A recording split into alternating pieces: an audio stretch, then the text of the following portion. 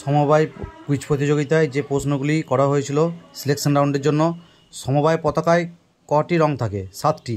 দু হাজার চব্বিশ সালে কোপা আমেরিকা ফুটবল প্রতিযোগিতায় কোন দেশ জয়লাভ করেছে? আর্জেন্টিনা। উনিশশো বিয়াল্লিশ সালে মহাত্মা গান্ধী কাকে বলেছিলেন? দেশভক্তদের মধ্যে রাজপুত্র, প্রিন্স এবং দ্য প্যাট্রিয়টস। নেতাজি সুভাষচন্দ্র বোস।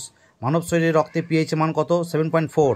আঠারোশো তিরানব্বই সালে কোন দেশ প্রথম মহিলাদের জন্য ভোটাধিকার প্রয়োগ করার অধিকার দেয়? নিউজিল্যান্ড নিউটন তারা কোন গ্রন্থে মাধ্যাকর্ষণ শক্তি সম্পর্কে বলেছেন? প্রিন্সিপিয়া। বিখ্যাত পুস্তক পাঁচালী, পুস্তক পথের পাঁচালী কার লেখা? বিভূতিভূষণ বন্দ্যোপাধ্যায়।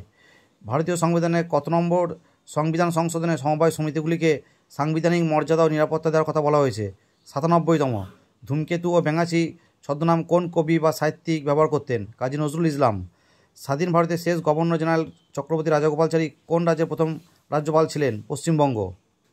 বিজয়চাঁদ রোড এবং গ্র্যান্ডটাং রোডের পার্শ্ববর্তী স্থানে অবস্থিত উনিশশো দুই অথবা উনিশশো তিন সালে মহারাজা বিজয়চাঁদ মহতাবের উদ্যোগে নির্মিত স্থাপত্যকে আমরা কী নামে চিনি? কার্জন গেট বা বিজয় তোরণ। পশ্চিমবঙ্গের বিধানসভায় মোট আসন সংখ্যা কত? দুশো চুরানব্বই। সিন্ধু সমভূমিতে নুড়ি মেশানো মাটিতে কী ধরনের উপাদান থাকে? Calcium carbonate. নীরজ চোপড়া কোন খেলার সাথে জড়িত? জ্যাভলিন। ডক্টরস ডে বা চিকিৎসক দিবস কোন প্রাক্তন মুখ্যমন্ত্রীর জন্মদিন বা মৃত্যুদিন পালন করা হয়? ডক্টর বিধানচন্দ্র রায়। যদি রাজঘাট, ইজুগাল টু মহাত্মা গান্ধী ও শান্তিবন ইজুগাল টু পন্ডিত জওয়াহরলাল নেহরু হয়, তাহলে শক্তিস্থল কী হবে? ইন্দিরা গান্ধী, সমাধিস্থল। বর্তমানে পশ্চিমবঙ্গের সমবায় মন্ত্রীর নাম কি? প্রদীপ মজুমদার। কলকাতায় অবস্থিত জাতীয় গ্রন্থাগার কোন ভাইসরয়ের আমলে তৈরি হয়েছিল? Lord Curzon. কোন সংস্থা স্টেট কোঅপারেটিভ ব্যাঙ্কগুলির মাধ্যমে কৃষি লোন দেয়? নাবার্ড। ডোনা গাঙ্গুলি কোন ধরনের নৃত্যকলার সাথে জড়িত? ওড়িশি।